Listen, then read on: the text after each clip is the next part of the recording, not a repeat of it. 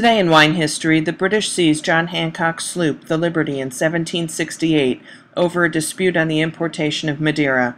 Riots ensued in Boston over the seizure, and you thought the American Revolution was fought over tea. The Cabernet d'Anjou AOC was created in 1936, and finally, California's River Junction AVA was designated in 2001.